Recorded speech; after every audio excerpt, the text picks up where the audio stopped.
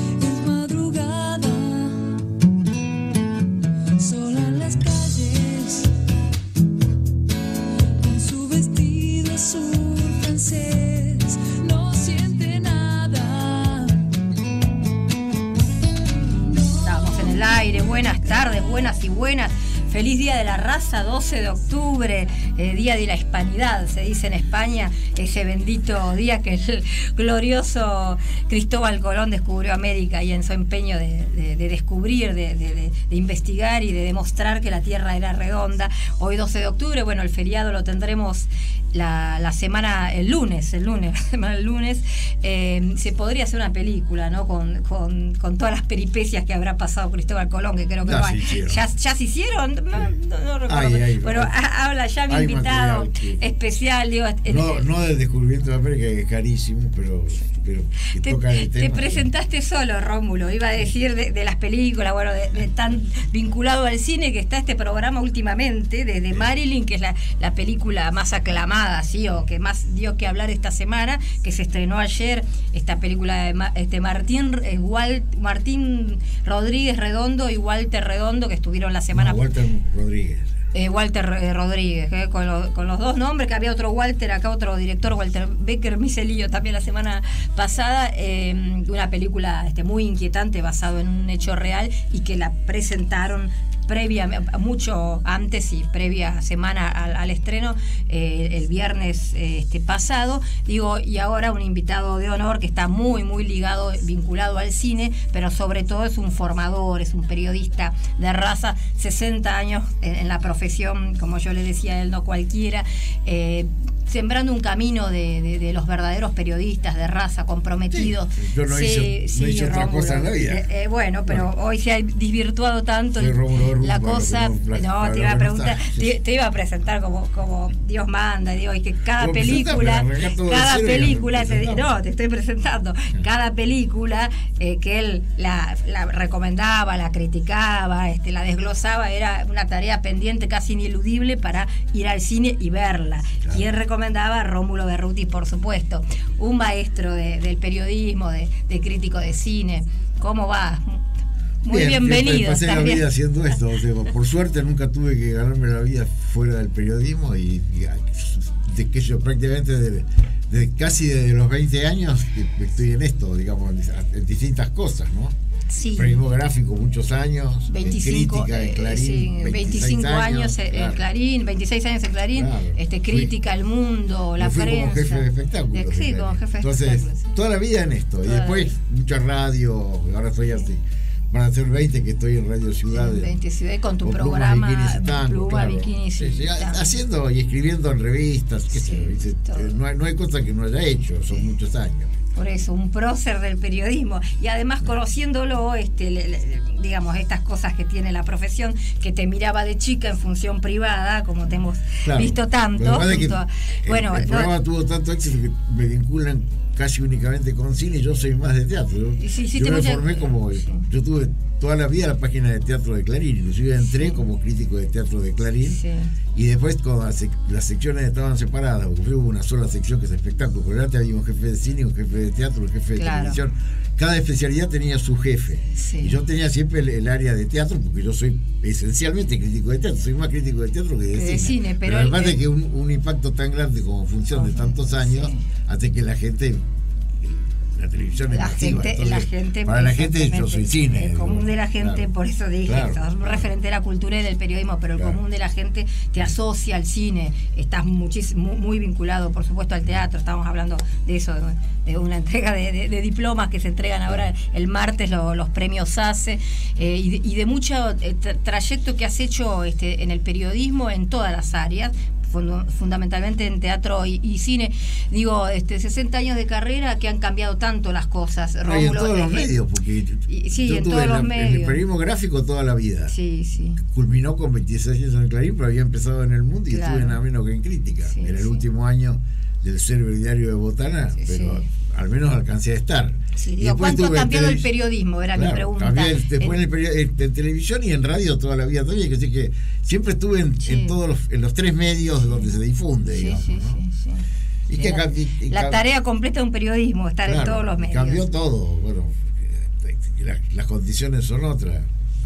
El periodismo tenía otros otros profesionales más rigurosos que lo que hay ahora y todo era mucho más exigente de lo que es ahora, digamos. Ahora es, es, es cumplir, salir. Yo veo, escucho los programas de radio en- y no me refiero a- al área de espectáculos. La radio de la mañana, la radio común, y es una cosa impresionante. que Nadie lleva preparado nada, no hay, no hay una cosa que indica que, que armaron algo. Así, todo es, es decir lo que a cada uno quiera en ese momento y a veces con, con muy mal gusto, con tocando exclu- exclusivamente temas eróticos, sexuales, genitales. Es decir, me parece que bajó to- todo bajó de calidad, eso, eso no Claro. cabe duda. ¿no? Sí. Yo me formé en un mundo muy exigente en ese sentido. Mm. Había profesionales que inclusive algunos eran especialistas en determinada disciplina, ¿viste? Sí. Tipos que sabían mucho de política, pero de política internacional, de política argentina, era- eran especialistas. Sí, sí. Y hoy formado. te das cuenta que lo que se hace es llenar el espacio. más. La, es era digital empezando también por ahí, que distorsionó todo, porque ahora con una camarita cualquiera es periodista. También o eso, se dice periodista. Obviamente.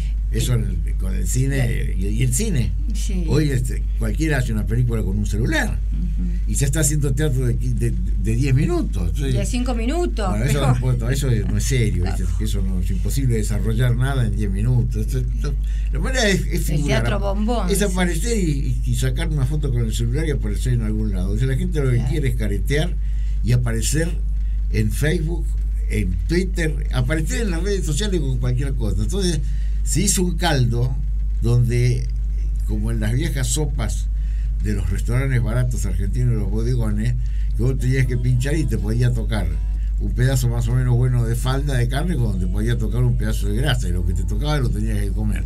Y hoy estamos un poco en, en eso, ¿viste? Es decir, no, no hay no hay nada, no, No hay nada, no no hay au- auténtica dedicación al, tra- al trabajo. te Claro, este, es todo como el Instagram, no es un instante, No, es es producto de las redes sociales, Eh, producto de la- del facilismo. Lo que pasa es que Claro. nadie quiere tomarse el trabajo de hacer nada. No. Es más fácil escribir una obra de 10 minutos. Claro.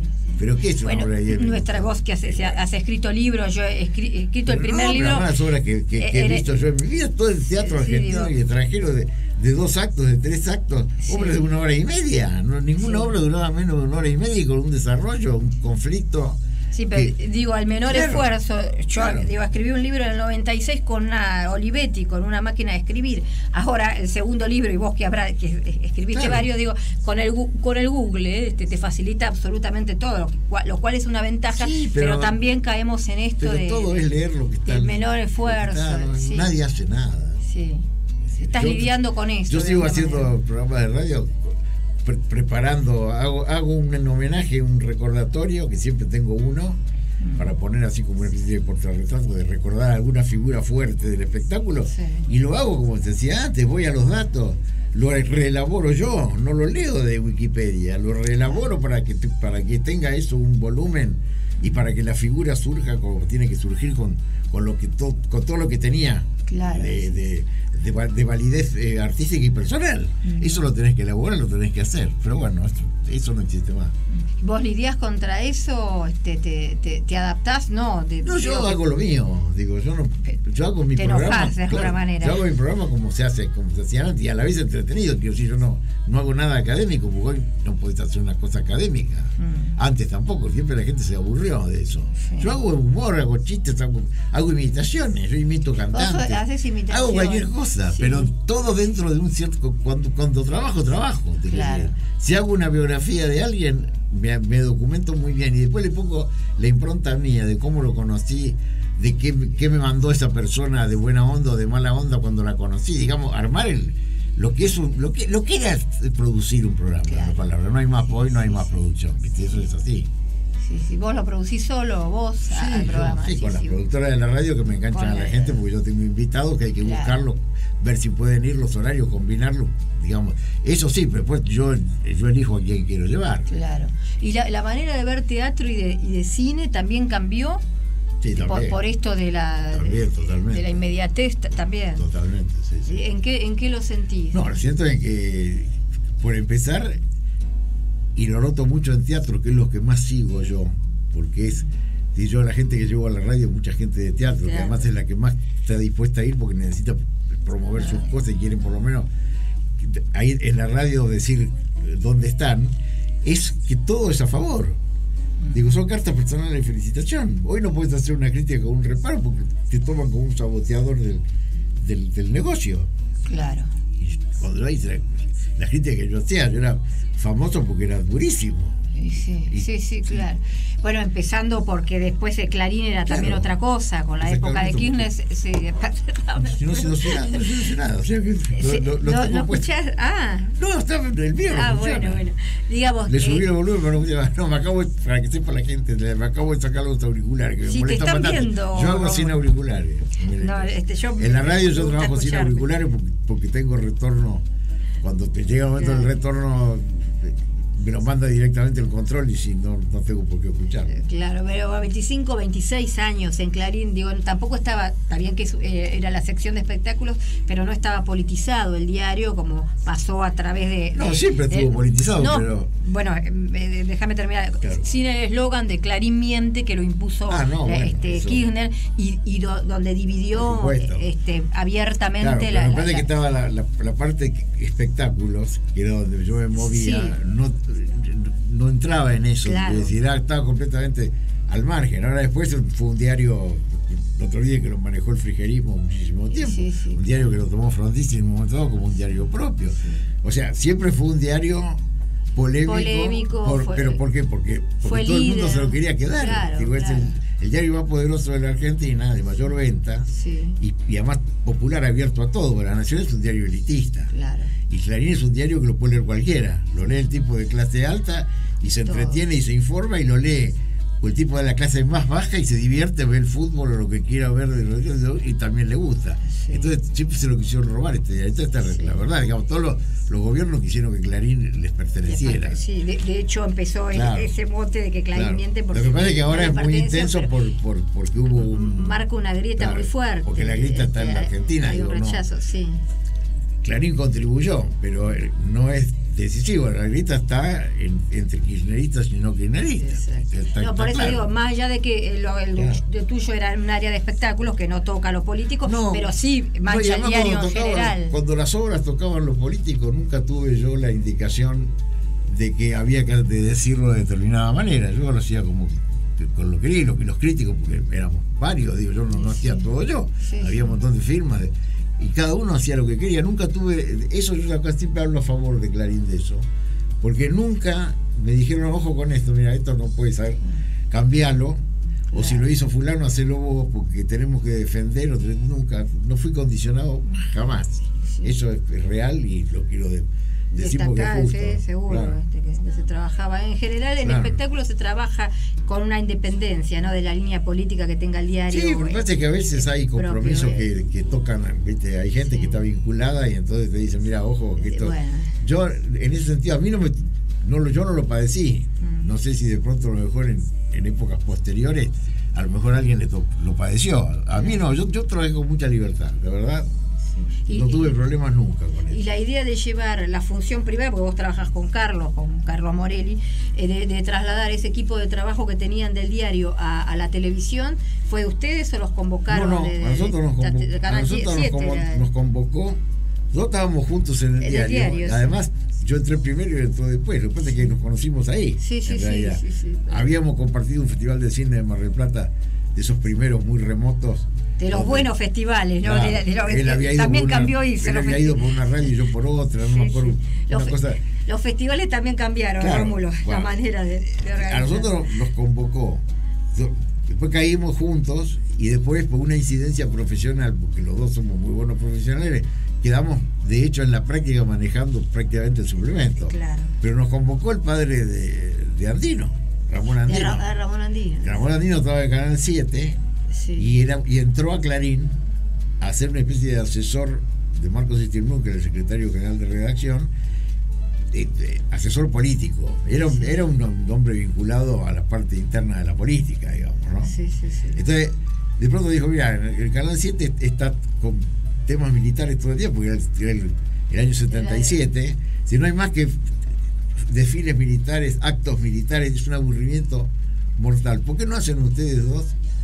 ¿Por qué no inventan algo de cine para hacer a las 12 de la noche? Que en aquella época era un horario marginal, hoy es un Claro. horario central, en aquella época era un horario marginal. 12 de la noche se miraba la transmisión de todos los canales. Sí, sí. Y así lo hicimos, con material nuestro, porque en realidad el canal no tenía nada, era el canal de la calle Viamonte, el viejo canal El viejo, 7 de la calle Viamonte.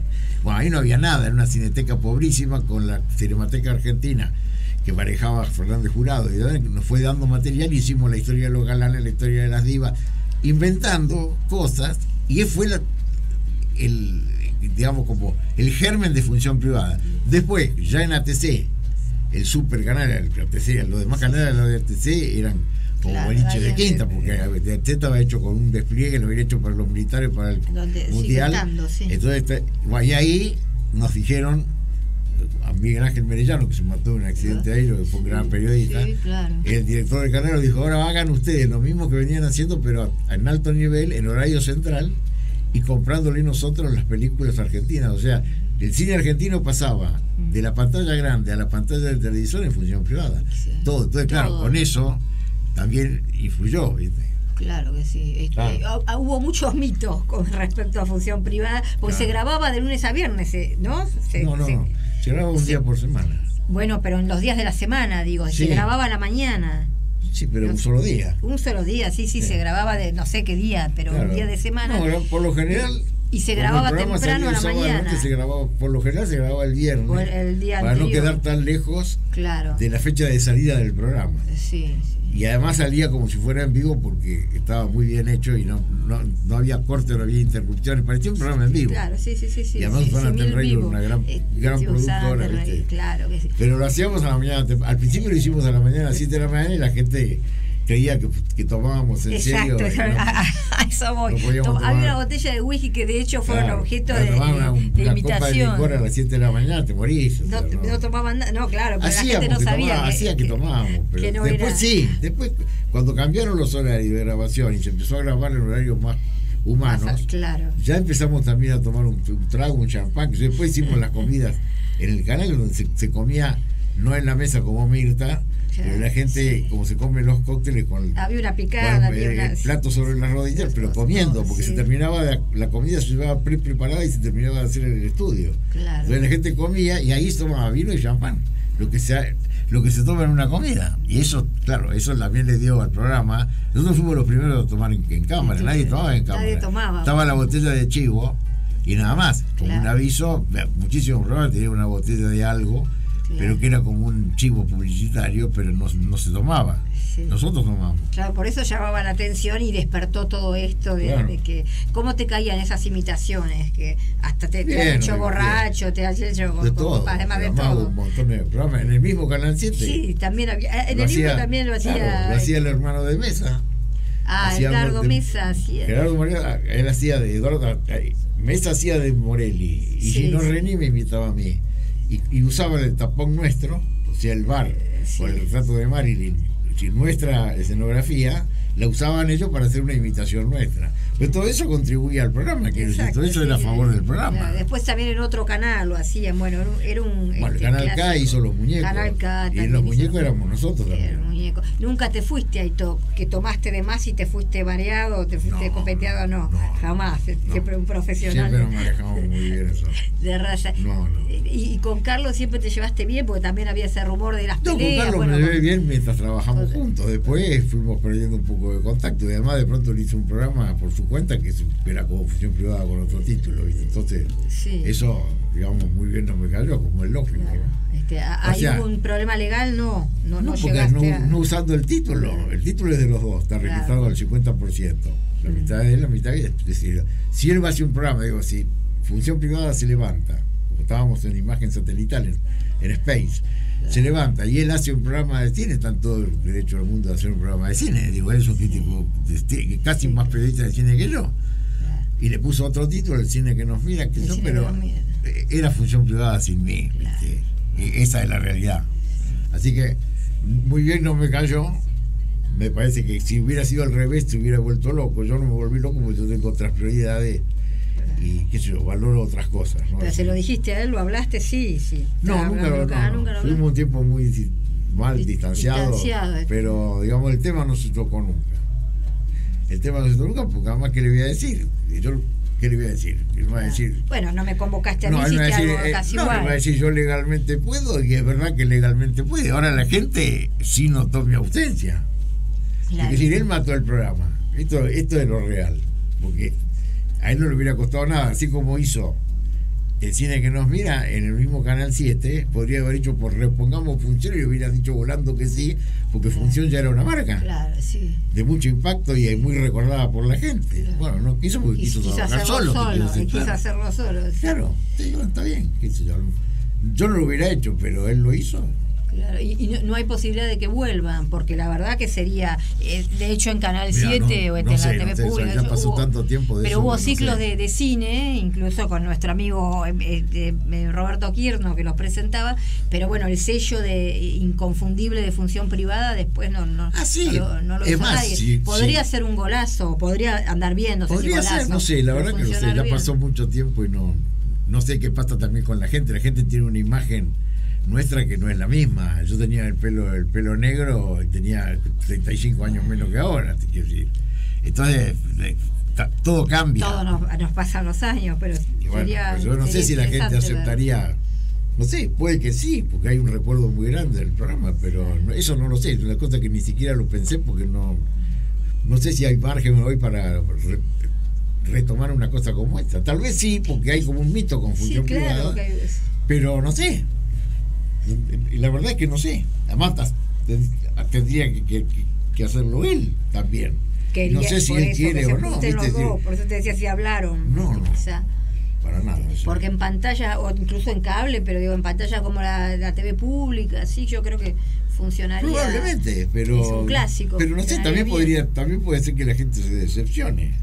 Porque la gente tiene una imagen de dos tipos que tenían mucho menos edad y también con mucho menos difusión del cine fuera de, la televisión. Y hoy, eh, digo, fuera de las casas. Y hoy, nosotros que nosotros llevamos un, un cine de gran calidad a las casas cuando las casas no lo tenían. Y hoy tenés a partir de Netflix y todas las cosas por una cantidad de ofertas de cine que no sé si un programa Sí. como función y tiene además- el mismo margen. claro, y- cambió, y- cambió mucho y todo. además eso. canales exclusivos de, de- de cine Claro. nacional como Volver, Y Cinear. volver el cinear y Eh, todo eso. Yo no sé, no sé si hoy lo que significó función privada, que para la gente fue una auténtica sorpresa, un programa de cine hecho muy bien hecho, con con, con, con aditamentos, porque también poníamos cortometrajes, Todo. vimos las series viejas de la, de la década del 30, vimos una producción. Sí. Yo no sé si eso hoy funciona. Vos no te que eso era novedoso porque la gente no veía cine en su casa.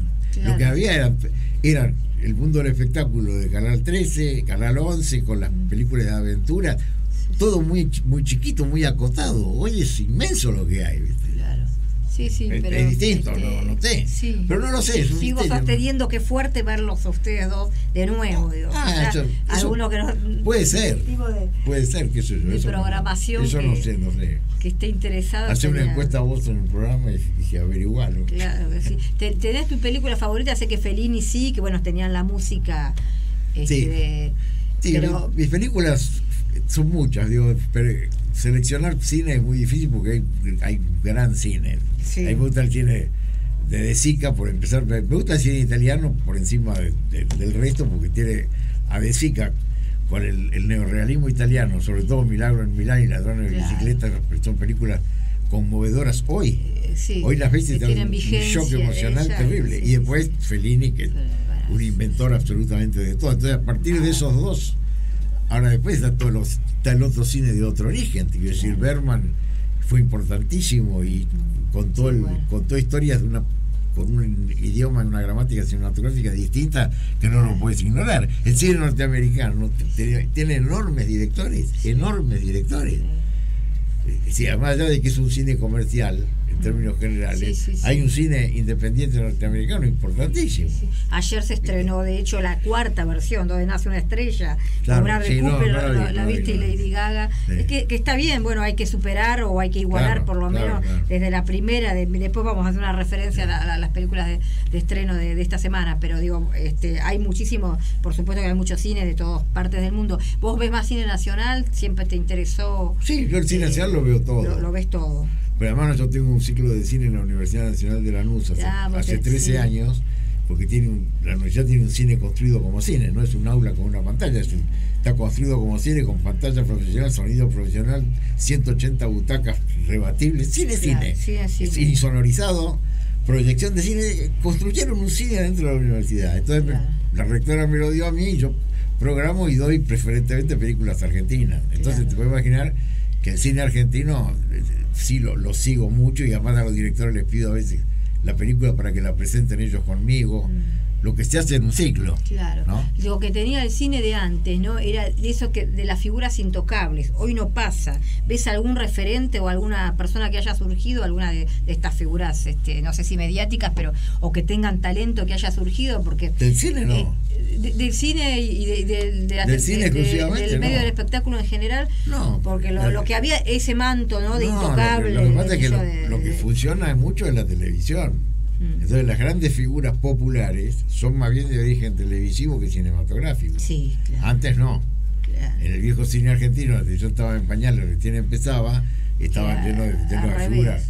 Vos calculás que hoy la figura número uno de la televisión argentina, la reina madre Mirta Legrand, es de origen absolutamente cinematográfico. claro sí Claro, pero esto, eso ya no es así. Sí, pero que, que la Claro. gente ni sabe lo que hizo. En general, los- la Claro. nueva generación no sabe lo que hizo en cine. Claro. Pero lo, lo- digamos, lo que se perdió es este cosa de intocabilidad que había, ¿no? Eh, desde- sabíamos Tita Merelo lo que pasaba con Sandrine y todo, pero, No, de- pero además lo que de cine claro, pero que no, no existían estos programas de que todo el mundo No, contaba sus totalmente. vidas privadas. Se, se, se valoraba y se respetaba Claro. esa cosa de, de privacidad. Eso manchó, ¿no? El tema de la esterilidad o que toda esta cosa que pasa con el mundo privado, que, Sí. se filtra. Lo que pasa es que eso es, patrimonio del periodismo, ¿viste? Es un pe- un periodismo Y de la figura que se dedica exclusivamente también. a la- sí, de la figura, pero está todo, todo volcado al chimento exclusivamente. Digo, eh, fíjate que hoy no hay más periodismo de espectáculo, es periodismo de chimento.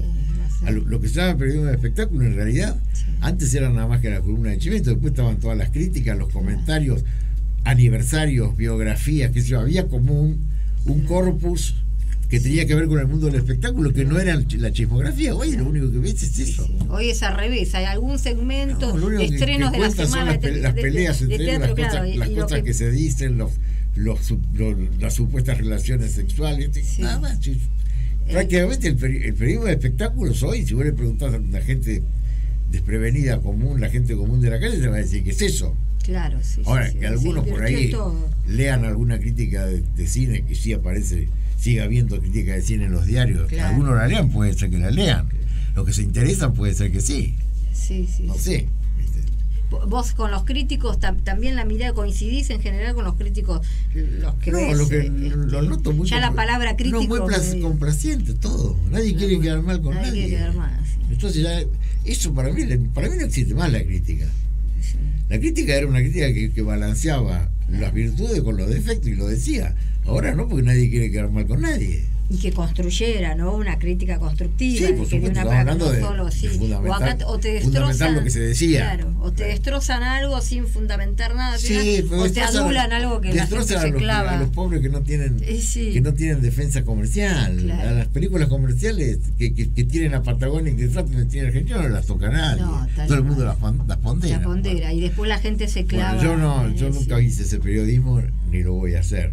Ya es muy tarde en la vida. ¿Qué para- tiene que tener un crítico? Porque viste que, por ejemplo, la película Sama de Lucrecia Martel, que, que Lucrecia Martel con todo una obra que nadie deja de reconocer todos los logros y este la originalidad que tiene en su filmografía, pero eh, a veces son películas muy difíciles de digerir para el público común que paga una entrada. Eso también tiene que tener en cuenta el crítico, ¿no? A la hora de decir vaya a ver Por esta supuesto, película. pero, pero eso jamás. Pero eso no ocurre. no lo ahora. van a decir porque quieren también quieren pasar por culto. Exactamente, muy bien. Es así. Por ahí no El entienden. asunto es muy simple, quedar bien con todo, quedar bien con el cine comercial, porque en algunos casos inclusive lo cobran. Sí. En algunos casos sigue sí, funcionando sí, el sobre. Exacto, sí. O lo invitan a un festival, es una manera de pago. Bueno. Y de la otra manera quieren parecer cultos. Entonces, la manera es no criticar nada Claro. y no chocar con nadie y decir que todo es bueno. Eso, si a eso le quieren llamar crítica, no, nunca lo hice así yo. Claro, pero el que paga los, los patos rotos es el público Claro. o no, porque después la ya la segunda vez que tal crítico recomienda algo Claro. que es un desastre y gastas tu plata ya no le haces caso o no, o no vas, ¿no? Este, ¿no? No era lo que pasaba con Rómulo Berruti. Que, Ah, no, que- conmigo y con eh, muchos otros. con Eran muchos firmas, otros. firmas que se seguían, por pero se seguían porque eh, sabían que uno intentaba orientar de verdad. Sí, Y hoy eso no existe más. Claro, no, por supuesto. Este, mí- ahí te mira Betty que vamos a hacer la pausa de, de la media hora que digo es la grafóloga numeróloga que le va a hacer nuestra Bueno, amiga fiel del programa, nuestra este, perlita de autoconocimiento que yo digo eh, en base Bueno. a la grafología de, de Rómulo Berruti, que además es eh, una espectadora de todo lo tuyo. E invitamos al FILBA, que estamos en medio ¿no? de este, los 10 años de este Festival Internacional de, de- de Literatura de Buenos Aires. Eh, bueno, la, no sé si fuiste a la inauguración, que No, fue en el Malva, no, la sede central, con eh, Catherine Millet, esta escritora canadiense, curadora.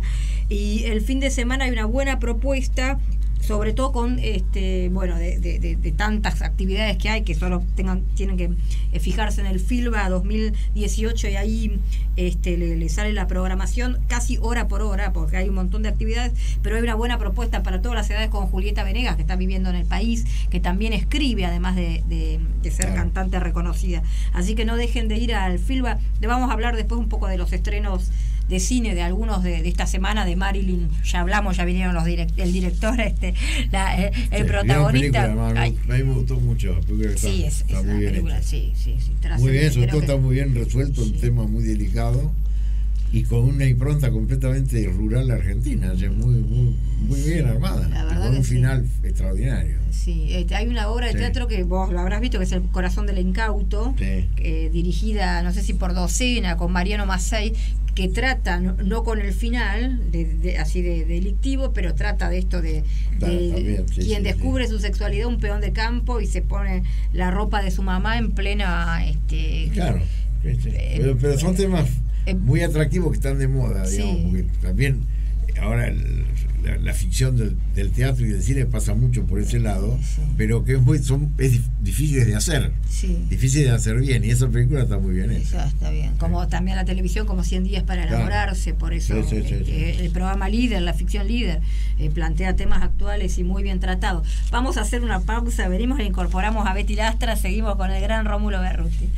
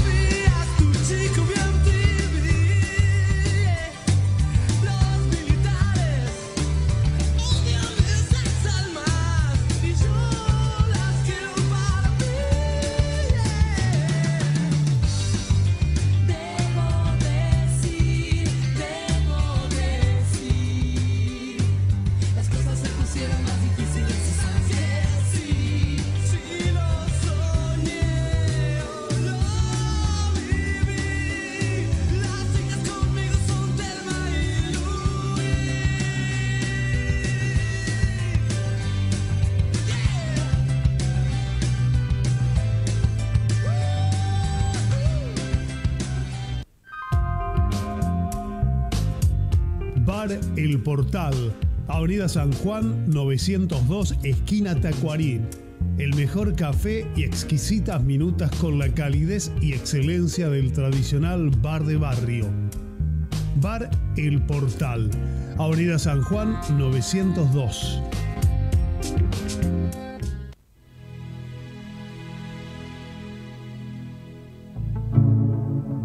Beatriz Nélida, operadora psicosocial en salud mental, consultora psicológica y psicóloga social, te invita a desarrollar tu capacidad, despejar angustias, fortalecer tu autoestima. Envíale un email a nélida1509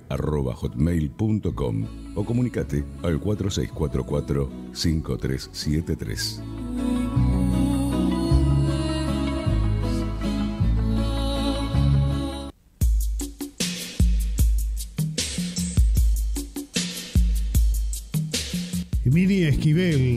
Diseños y confecciones, novias, madrinas, 15 años, bautismos, fiestas, uniformes, bordados estampados.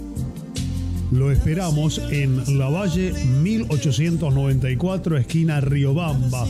Teléfono 0 2244 15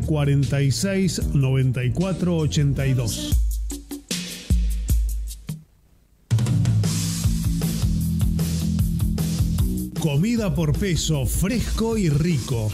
Chaufán, chaumien, pata y muslo al horno, arrollados, ensaladas y mucho más.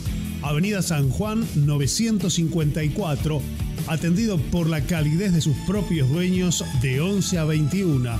Recordá, en comida, fresco y rico.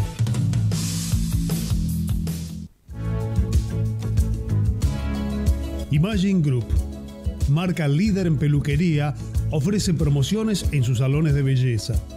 Además, en Imagine Group podés encontrar el curso que necesitas. Peluquería, manicuría, depilación, maquillaje social, cosmetología y mucho más.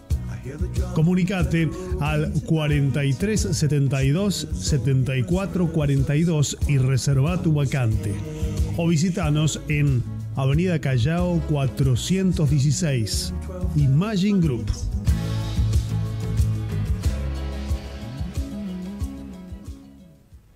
Sola en los bares. Está mareada,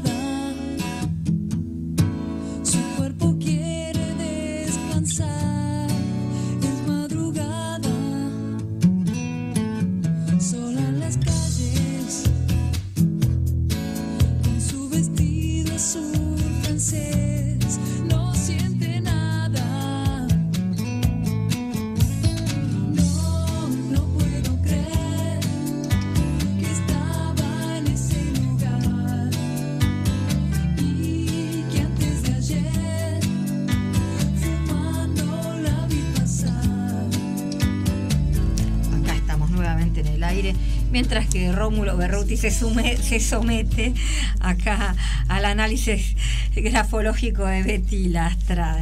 Nunca, no sé si te hicieron eh, análisis grafológico alguna vez. Hace, sí, yo hice un programa que se llamaba Mi Destino, Mi Letra y Yo. ¿Ah, sí? Ah, no no sabía, no sabía eso. Mirá vos. Eh, bueno, mientras que escribe Rómulo, hablo de Familia Sumergida, también otra película argentina que se estrenó en el día de ayer de María Alche, quien ha trabajado con Lucrecia Martel este, en La Ciénaga, en la, en La Niña Santa. Toda est- esta película tiene el tono de Lucrecia Martel. Es una actriz que hace su primera película, su ópera prima, con el protagónico absoluto de Mercedes Morán. Creo que la impronta, la imagen, esa este, eh, mujer eh, como derrumbada que ha perdido a su hermana y en eso se basa este, esta película. Tiene que acomodarse una nueva circunstancia de su vida con sus hijos jóvenes, adolescentes y en esta soledad que es como que algo que se desprende y, se tiene que rearmar y acomodar una nueva situación de vida, ¿no? Este, como que está eh, tratando de, adaptarse y superar ciertas cosas que eh, hasta parece la imagen de, de- de Mercedes, que hasta en ese momento no había caído de ciertas cuestiones de su vida que, que, mm, este, se, tratan acá, con, con la sutileza, con los climas, con el ambiente que muy parecido que propone, ya digo, este Martel, que creo que habrá sido su discípula. Eh, digo, es un gran año para Mercedes Morán, sin ninguna duda, una este, enorme actriz, pero con el amor menos pensado, con El Ángel, con otra película de. mm, eh, Ana Katz, creo que es eh, Sueño Florianápolis, que todavía no se estrenó, pero ya se estrena, con la voz en off de este no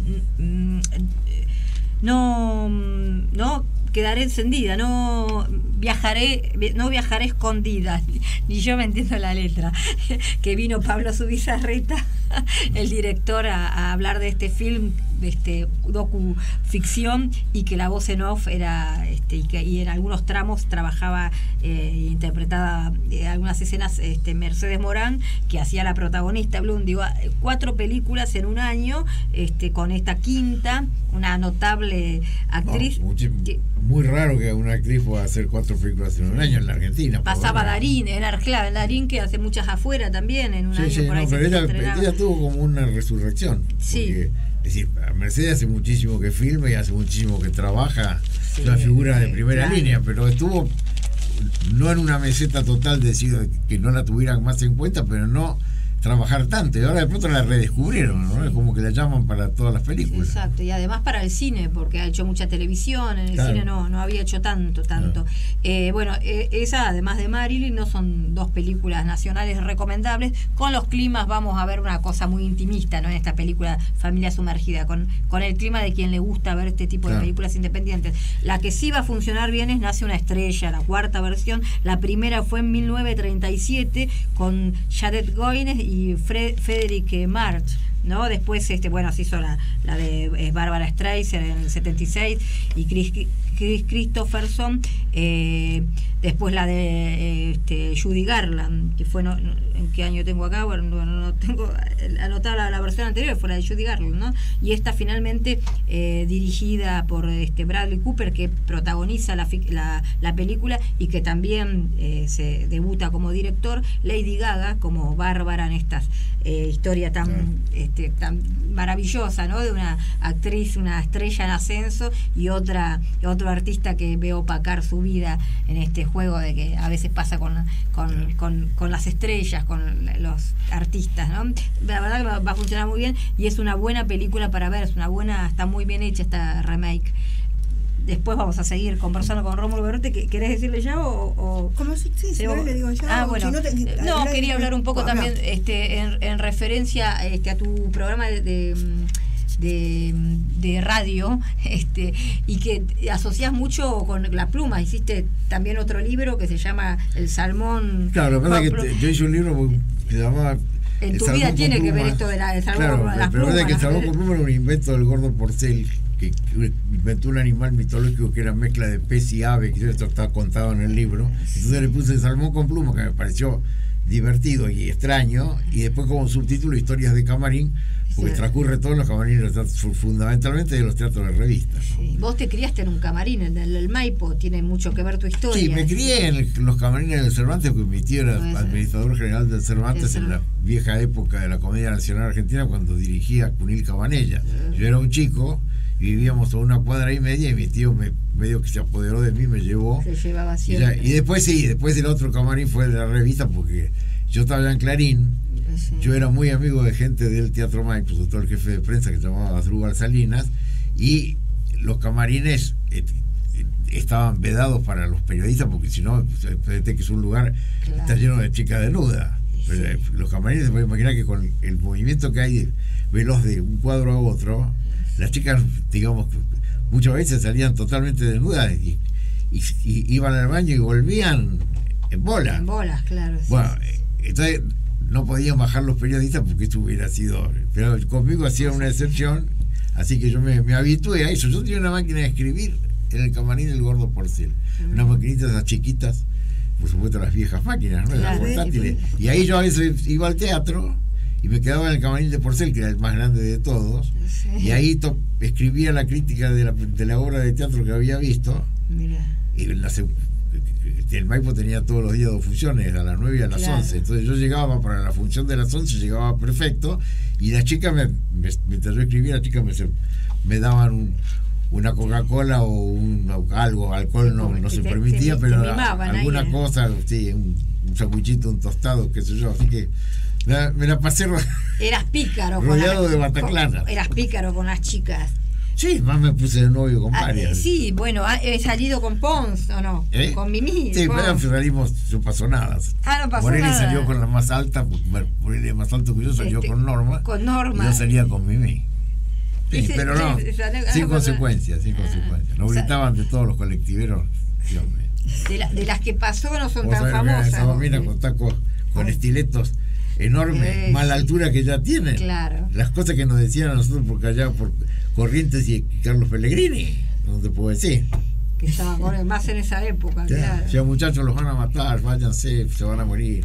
Oh, sos un hombre de la noche vos también, ¿eh? Mucho, Fui. mucho. Sí, ya no, ahora no. ya estás retirado. No, ahora estoy todo el día leyendo y viendo televisión en mi casa. Ya, ya- y además la noche ya no es lo que era. ¿viste? no, además hoy la noche es peligro puro, Sí. cosa que no, no pasaba antes. Y además yo tenía, por supuesto, tuve coche toda la vida y dejaba el coche en la puerta del teatro y que después de las nueve de la noche se podía estacionar en cualquier lado y no pasaba nada. No pasaba la grúa. No pasaba nada, llevaban. no había control de alcoholemia. No. Yo manejaba borracho muchísimas Claro. veces, salía de la fechoría, me tomaba dos botellas de vino y me iba a mi casa en auto. Si hubiera habido control de alcoholemia, hubiera vivido preso. Claro. Esa es la verdad. Qué épocas, ¿eh? Claro. Sí. Todo eso cambió. Toda esa noche, que además era muy permisiva Sí, y además mucho menos peligrosa que ahora. Más Sí, sana. Más Ahora- sana, más sana. Ahora es muy peligrosa la noche, ¿viste? Es de verdad. Sí, Claro. sí, sí. Y desagradable. Sí, sí. Especialmente ahora, en este momento que está pasando un momento Sí. tan malo, ve la gente durmiendo en la calle, Sí, ¿viste? Sí, terrible. es muy desagradable. Bueno, ahí, ¿cómo, ¿qué pasa otro? ¿Qué es lo que pasa? Bueno, es una persona tremendamente positiva. Es culto, inteligente, también es terminante cuando decide las cosas, no acepta otra opinión cuando tiene formada una. Es respetuoso del otro también, va eh, siempre adelante y es una persona que siempre ha tratado de estar ocupada.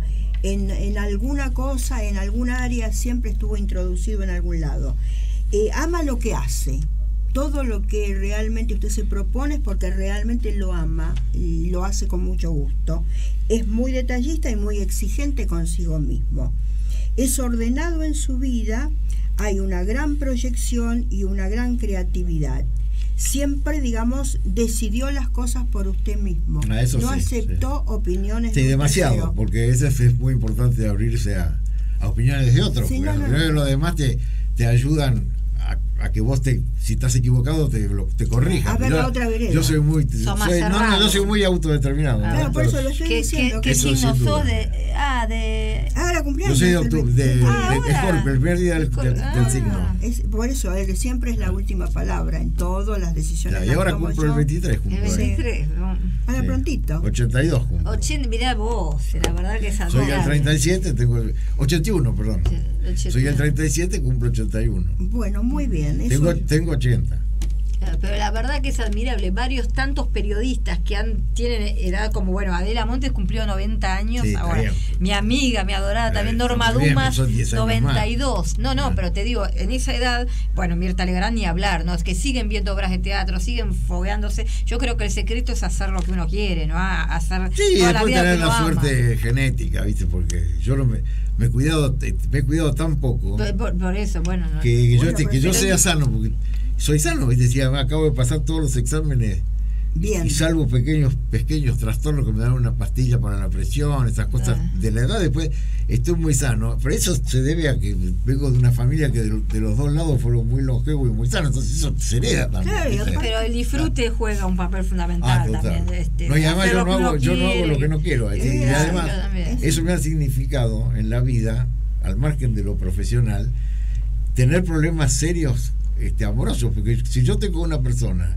y yo siento que esta persona no va más, no la engaño ni un minuto. Claro. O sea, no hago la farsa de seguir, porque después de todo, ¿cómo se lo va a tomar no? ¿Se terminó? No te quiero más, no te quiero, me equivoqué. No te quiero ver más, me quiero ir a vivir solo. Mira vos, claro. Punto. Paz, salga pato gallareta. Y claro, para, para la otra parte es doloroso. O Es sea, doloroso. si la otra parte, Sí, es digamos, doloroso, estaba sí. entusiasmada. Sí, pero es doloroso, quería- pero más doloroso es la mentira. No, se- seguramente claro, que sí, es así, pero digamos que ser así tan terminante, cuando a lo Sí. mejor la relación no da para eso, este, No, la no, no, otra además parte ese queda mal. es un defecto mío.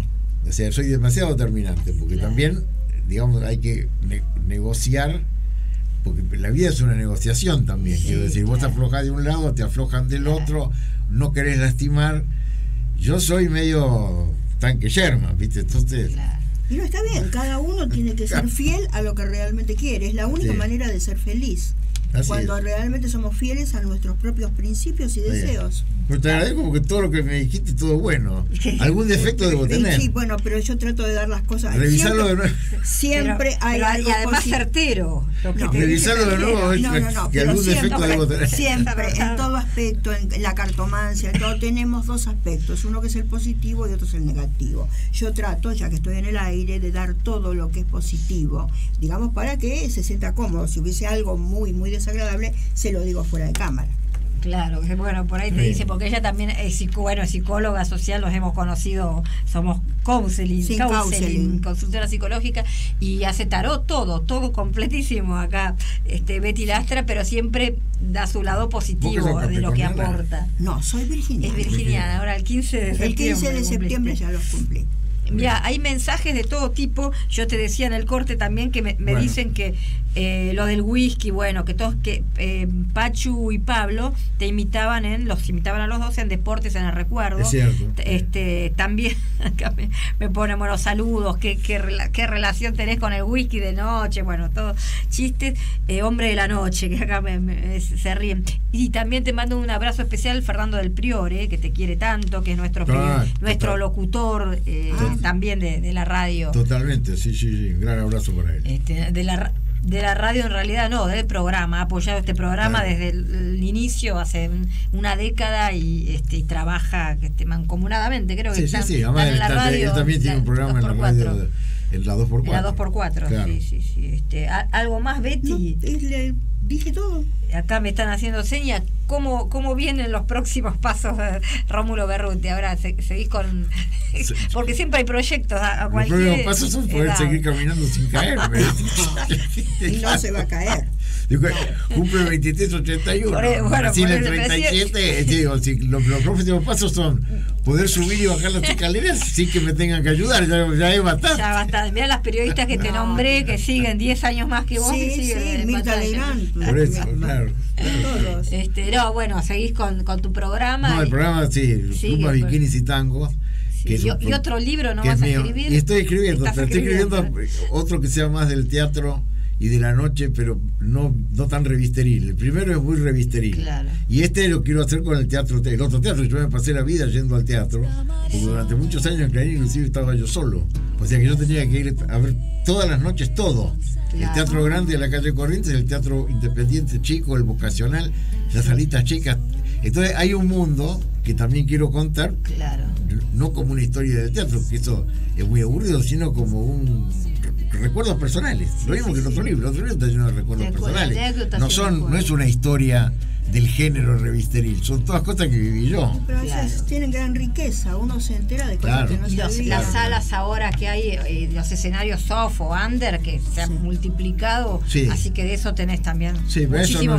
No, no, recorrer eso. muy- muy- no, no, porque estoy yendo menos al teatro. Yo, yo salgo muy poco. Sí, salís Vos- con vos nuestro- que vos, no- vas a, vos vas a los lugares, a todas las presentaciones, a todas las cosas y nunca me No, te veo muy poco. Ahora te con nuestro amigo Ah. en común sí vas a comer, Marcelo Oliveri, que le mandamos Sí, a veces voy a, beso. cada tanto me encuentro con él y voy a comer con él. Claro. Pero digo, ya esa cosa que yo hice tantos años, que ahí me cansó un poco Sí, sí. la obligación, pues yo hacía para Clarín todo, porque había una presentación de un libro y de pronto la tenía que hacer. Claro. Había un cóctel de algo y yo tenía que estar pues, con un fotógrafo. Digo, fueron tantas décadas Que de, dedicarme a eso, que sí. ahora yo de- redescubrí la, vida, la vida, la vida claro.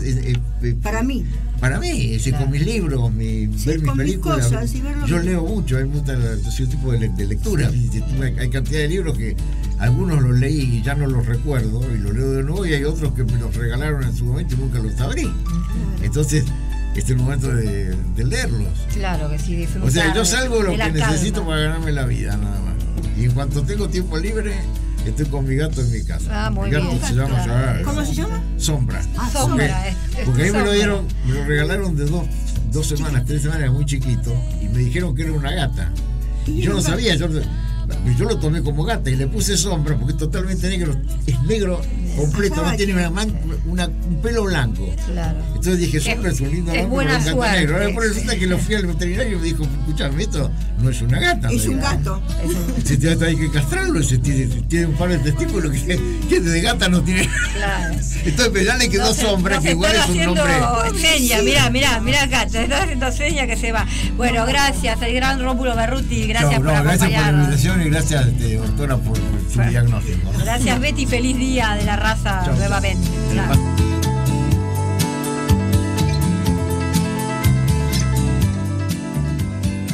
Comienzo de espacio publicitario en Conexión Abierta. Este medio está asociado a CADEMAD, Cámara Argentina de Medios Audiovisuales Digitales. Desde Buenos Aires,